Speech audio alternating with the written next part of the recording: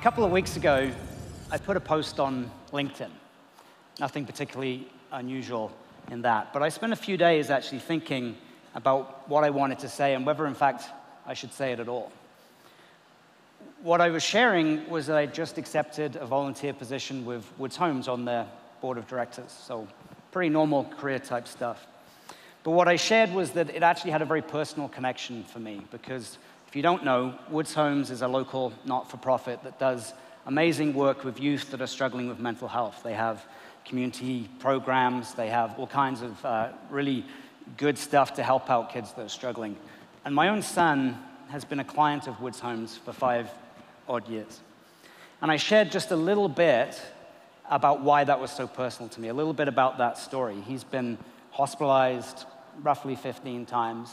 I've had the police, emergency services had to come to my house and help him on a number of occasions. In fact, I've been on Teams calls early on in the pandemic where I had to change my background rather hurriedly because, unknown to me, the police had had to come while I was working and help him out. And I've had a younger son that's, uh, you know, heartbreakingly had to lock himself in the bathroom and call 911, you know, more times than you'd ever want that to happen.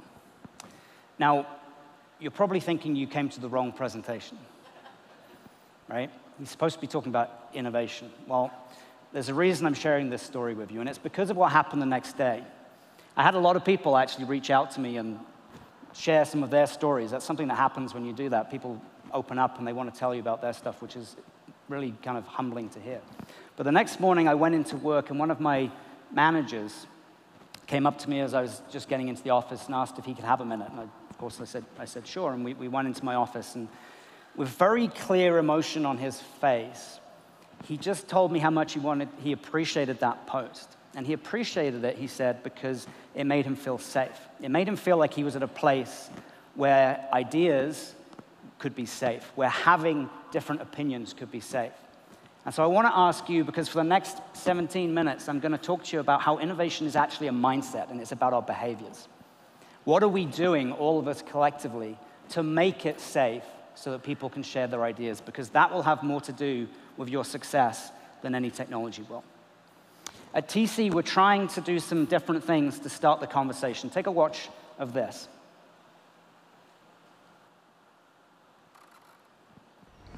Oh. We must continue making progress on the transition to cleaner energy while meeting demand for all the energy we all rely on daily.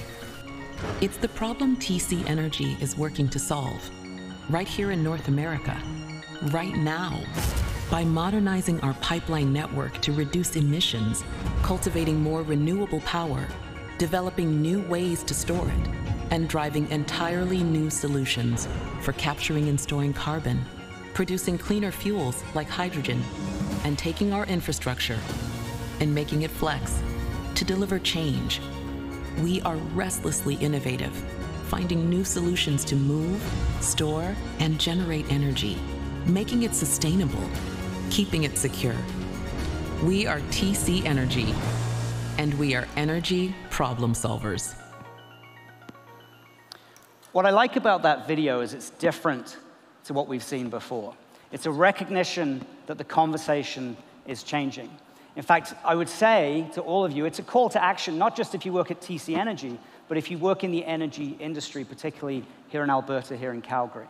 Because every company, every industry actually sees this inflection point at some point. This question of whether you're going to renew and continue to grow and be profitable and survive, or whether you're going to descend.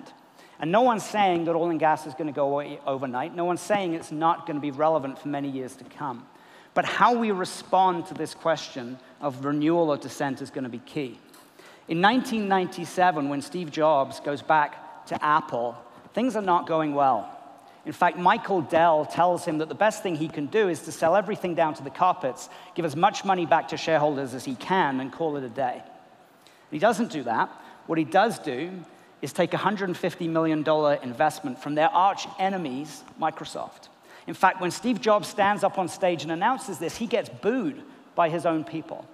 They're so discouraged by what he's doing. But a year later, understanding that they need to renew, he's created the first iMac, the first profitable thing they've done for years. And they go on, of course, to put a thousand songs in your pocket with the first version of the iPod. They disrupt the music industry forever with iTunes. And of course, they create the iPhone. What's interesting about the iPhone that not everybody knows is that Steve Jobs was adamantly against that. He didn't want a, a, smartphone. He wasn't convinced that they would actually be what they ended up being. And he told investors that Apple wouldn't create a phone because phones suck. Now, I didn't know Steve Jobs personally, but from what I understand, he wasn't the most approachable guy in the world. In fact, he may have skipped a few psychological safety courses that we all go through every year. So, how in a company where the boss has said, we're not going to do that, do people go away and covertly work on something, bring him something that he can actually get his head around and change his mind and go on to be a complete disruptor in the phone industry? It's about behaviors, it's about culture, it's about that safety, even with Steve Jobs at the helm, of being able to do it. Contrast that to Toys R Us, who, faced with all the competition from Amazon, Target, Walmart, do very little except one thing they try and sue. And I can tell you that before they set foot in the courtroom, I think we can safely say that they'd already failed. So, what's comfortable doesn't stay profitable. And in 2001, two companies are very, very comfortable printing photographs for all of us, and that's, of course, Kodak and Fujifilm. In fact, they're doing so well at this, they can basically give us all free cameras and make their money on the back end of this deal with the printing part because it's proprietary and it's very, very hard. It's a duopoly. Basically, no one can get in. And in 2001, the market at its peak and they're making an absolute fortune. Of course, what happens next is digital. By 2010, the market is down to one tenth of what it was, and everyone is sharing their, their pictures online. They're not printing anything anymore, right? And the folklore says, well, Kodak failed because they failed to embrace digital. Actually, Kodak, maybe a little late, but they tried very, very hard. They spent billions of dollars trying to capitalize on the digital market. They set up kiosks. They're one of the first to do that, trying to get people to print from digital. But their fundamental mistake was that they wanted to continue making money out of the business the way they had. They wanted to keep doing it out of print. Fujifilm, by contrast, recognizes that the world has irrevocably changed. It's not coming back. And so they start to think in absolutely critical terms of what is it that we're really good at that we could apply our learning and diversify into new businesses. And what they figure out is that what they know about the processes of printing photographs can be applied to your skin. They become a cosmetics company. They go into dermatology in a very big way. They are also keeping an eye on a market that's changing at the same time in the 2000s, which is computer screens and TVs. Everyone's switching from those massive CRTs to these LCD screens. And it turns out that if you're Fujifilm, you're actually pretty good at understanding how to produce images on a screen. And so Fujifilm becomes one of the biggest providers of LCD screens. Fujifilm, even today, doing absolutely fine. Kodak, of course, went bankrupt in 2012. In the early 1900s, Sears revolutionizes retail, and they do it with a book. They put a book on the doorstep of virtually every house in North America that basically puts the big box Sears store right there in the kitchen so the whole family can go through and pick out whatever they need for the house, pick out birthday presents, pick out Christmas presents, without driving hundreds of miles necessarily into a city. They revolutionize retail. They do very, very well. What strikes me about Sears, though, that's interesting, is you substitute the book for the internet, and don't you have the perfect model? How could Sears not be the first out of the gate on that? And the challenge, and we're going to talk about this a couple of times during some of the examples here, is that fear that companies have that the next thing is going to cannibalize what they're already good at. That it's going to cannibalize, in Sears' case, the retail store business that they know very well and that they're doing very well at. And they're not wrong. The problem is that just because you're not willing to do it doesn't mean that someone else won't be. And where people and where companies disrupt is on what other people, what companies are not willing to do. In this room, there's a lot of people that do oil and gas. Not all, obviously, oil and gas, I know that.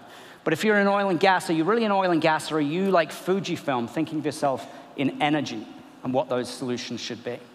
Companies will disrupt us on that which we're not willing to do. And it turns out that if you're a disruptor, the way you think about problems is actually very, very different.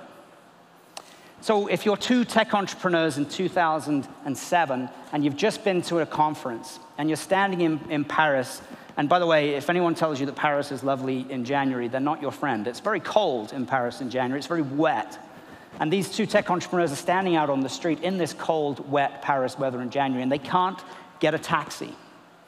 And of course, as entrepreneurs do, they start to think about, well, how could that problem be solved? How could this be that we can't get anyone to take us back to our hotel? They think about limo services. They think about all of those empty seats that are going by in the cars that aren't stopping that they could use. And of course, one of them goes back to California, gets some venture capital, and Uber is born. Now, a lot of people think of Uber and they think Uber won because of technology. They won because they created a smartphone app and the taxi companies didn't. Uber didn't win because of that. Uber won because of their mindset. They couldn't care less how the business was running today. And they won because they convinced all of us to do something our mothers told us never to do, and that was to get in the back seat, of course, of a stranger's car and let them drive us around town. That was the shift. That was the mindset that they got us into that no one thought they could do. If you're four students in San Francisco in 2000, I think it's 2008, and you're struggling with paying the massive rents, and you see a conference down the road that's totally sold out, and every hotel in town is sold out. If you're a disruptor, you don't think about the hotel business as it is today. You think differently about that problem. And as you probably know, you think about putting air mattresses on your floor and finding out if people will pay you money to stay in your house with you and offer some breakfast, some toast, and coffee in the morning and see what happens. And it turns out people will pay you $80 a night to do that, and you can make some of your rent money. And of course, although it wasn't, it took four more years for them to get all the funding and convince people that this was a good idea. That's the genesis of how Airbnb was born. So these companies that do this, they get into a different mindset. They're not struck by the tyranny of how. And so, as a lot of us in this room work for big companies that have been around for a long time, the fundamental question becomes how do we become the disruptor and not the disrupted? Having a big balance sheet, having the ability to spend money on things is, is great, but it can also be something that puts the shackles on you that stifle some of the thinking that others will not be limited by. If you're Blockbuster in 2004, life is looking pretty good. Yeah, you know about Netflix. You turned down the opportunity to buy them, but you're making $6 billion a year, mostly off my 20 something uh, self paying late fees, by the way. But Blockbuster doesn't completely ignore what's happening, they just don't understand how little time they have. They don't understand fundamentally how quickly that market is going to shift on them, how it's going to flip. And by the time they try and respond with blockbuster online streaming services and all of that, no one cares. We've all got Netflix accounts. Maybe we need to be thinking a little bit more like Play Doh. Play Doh, in case you didn't know, started out as a cleaning product to take smoke residue off of wallpaper in the 1930s. By the 1950s, that wasn't such a big use case for people anymore. People didn't really need to do that. And so what they noticed, they were actually going to shut the company down and kind of take their ball and go home. But what they actually figured out instead, they noticed that teachers were using their product in the classrooms to do arts and crafts with their students. And they rebranded it, of course, as Play-Doh. They ended up selling it to Hasbro, and two billion of those little cups of Play-Doh have now been sold, and multiple kitchen tables have been irrevocably, including mine, damaged forever by these little joys that play with that stuff. So what we've got to think about is how we're going to enable innovation in our own companies. How are we going to disrupt ourselves? And we can look at Amazon for some great examples of how you can do that. So Amazon creates the Amazon Fire Phone, and absolutely none of you buy it. Maybe one of you bought it. But they spent $180 million on the Fire Phone. How is it in a company we would say is one of the most innovative in the world, they can spend $180 million on a flop, on a Fire Phone? Well, it's quite simple, actually the same process, the same culture, the same lack of fear that allows them to create a Fire Phone creates Amazon Web Services. And Amazon Web Services is their attempt to solve a problem they have in terms of scaling their compute power and their storage internally. And AWS What they figure out, of course, is that the problem they've solved for themselves, they can solve for companies like TC. We have all of our infrastructure on AWS today. Last year, AWS made Amazon $18 billion. You can fail on a lot of Fire phones for $180 million when you're making $18 billion. Amazon understands that what they need is a portfolio. They don't need home runs all of the time. What Amazon understands is they embrace learning. Amazon creates the Z Shop. You've never heard of it, I doubt, because Jeff Bezos famously quipped that only he and his parents had ever been to one. And it was an attempt to take on eBay, creating this ability for all of us to create online marketplaces to sell direct to people. Turns out we didn't want it. But what they learned allowed them to pivot and create Amazon Marketplace. 50% of their e commerce sales last year were on Amazon Marketplace. So that learning from Z Shops, was it a failure? Amazon embraces that learning. And they also understand that they can't pick winners, that they actually need to allow a portfolio to go ahead. So at TC, we're trying to embrace some of that. We're trying to take on some of those learnings. And what we understand in particular is that we need to split things into an explore portfolio and an exploit portfolio. And the Explore portfolio is exactly what it sounds. It's trying to give people oxygen to have good ideas and have those good ideas move forward. There's a famous quote, and I can't remember who it's by, but it's something like everyone who's had a shower has had a good idea, but it's what they do with it after they towel off that matters. Well, in big companies, what happens next is you get asked to write a 30 page business case that explains exactly how your idea is going to work, exactly how much it's going to cost, exactly what the risks are, when you'll be done, and sign on the dotted line and you'll get fired if, you, if it fails, right? Well, what we're trying to do in the Explore portfolio is to take away that fear, to give people oxygen, to invest in evidence. Is it desirable? Well, we don't know. Let's go find out. Just because you've got a better mousetrap, I may not have a mouse infestation issue and I may not care. Is it feasible? Is there technology already, or do I have to go create some? That's gonna, let's find out. And is it viable? It's a good idea, but it's gonna cost you $20 million to solve my $10 million problem. Maybe I don't wanna go ahead. Good idea, let's go back and find another one. So we're trying lots of different ways, like a shark tank internally, to give people the opportunity to come pitch, to come get that little bit of funding, that oxygen, where they can go invest in the evidence without a 30 page business case. That will come later in the exploit portfolio where we start to see a few things, probably only 20% of the original ideas, come through, take additional funding, and go to the next stage.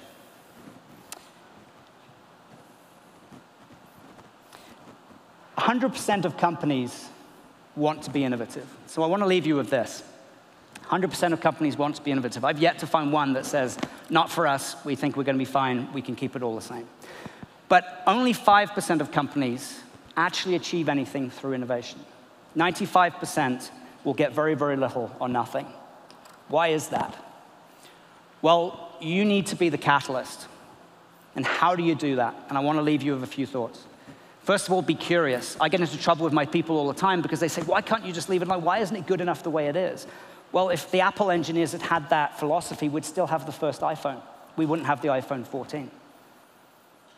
You need to challenge assumptions. Uber could easily have given up by saying the municipalities are never going to go for this. And the municipalities fought them tooth and nail because they made tons of money out of the existing taxi business.